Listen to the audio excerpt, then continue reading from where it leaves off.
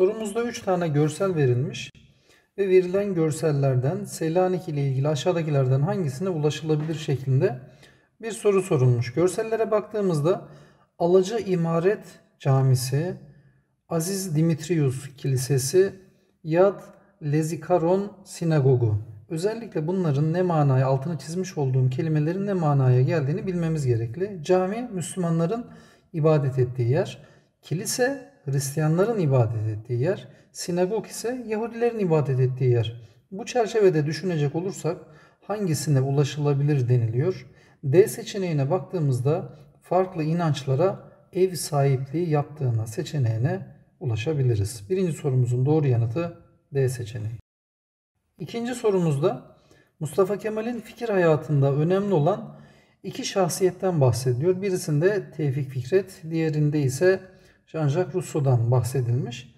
Bu bilgilere göre Mustafa Kemal için çıkarımlarından hangileri yapılabilir şeklinde bir sorumuz var. Birinci çıkarım çağdaş ve yenilikçi bir kişiliğe sahip olması. Ee, Tevfik Fikret'in eserlerinden etkilenmesi özellikle son dönem şair deniliyor. Yani çağdaş e, bir e, yazar Tevfik Fikret. Aynı zamanda Fransız yazar ve düşünür olan Rousseau'dan da etkilenmiş olması çağdaş ve yenilikçi bir yapıya sahip olduğunu gösteriyor. E, ikinci çıkarımda ise yerli ve yabancı düşünürlerden ilham almıştır. Tevfik Fikret yerli bir e, şair, Jean-Jacques Rousseau ise Fransız bir düşünür. Demek ki yerli ve yabancı düşünürlerden ilham almış. Peki demokratik yönetim anlayışını benimsemiş mi? Özellikle Jean-Jacques Rousseau'nun egemenlik kayıtsız şartsız milletindir e, sözünün esin kaynağı olduğundan bahsediyor. Demek ki demokratik yönetim anlayışı. Üçüncü sorumuzda manastır ile ilgili bir metin verilmiş ve hangisi söylenemez denilmekte. Seçeneklerden gidelim. A seçeneği dil, din ve kültürel alanda birlikteliğin sağlandığı denilmiş. Ama metinde bakılacak olursa bir birliktelikten bahsedilmiyor. Üçüncü sorumuzun doğru yanıtı A seçeneği. Peki B seçeneğine ulaşılabilir mi? Bakalım söylenir mi? Ekonomik faaliyetler açısından gelişmiş olduğu, bakınız ticaretin canlı olduğu. C seçeneği bölgeye hakim olmak için dinin kullanıldığı. Bakınız Yunanlarda kiliseleri aracılığıyla bölgeye hakim olmak istiyorlar.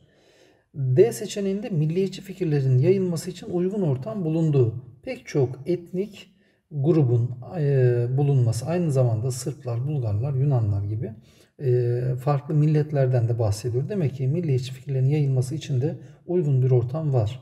Üçüncü sorumuzun söylenemeyecek seçeneği A seçeneğiydi.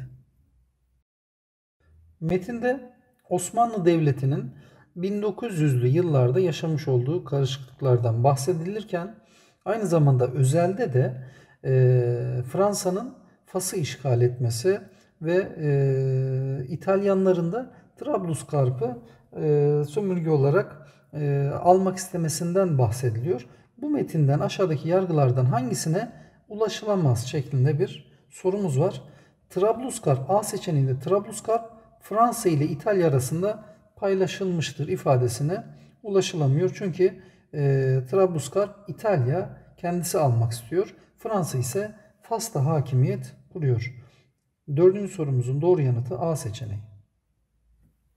Fikir akımlarının hiçbirisinde yeni bir devlet kurma e, düşüncesi yer almamakta. Demek ki beşinci sorumuzun doğru yanıtı B seçeneği. Peki devletin bütünlüğünü korumayı amaçlar mı? Bu dönemde ortaya çıkan bütün fikir akımlarında zaten bu vardır. Osmanlı milleti oluşturmak istemekteki amaç da budur. Anayasal monarşi, anayasal monarşi ise yine metnin sonunda meşruti yönetimde e, ilişkilendirilebilir. Beşinci sorumuzun doğru yanıtı B seçeneği.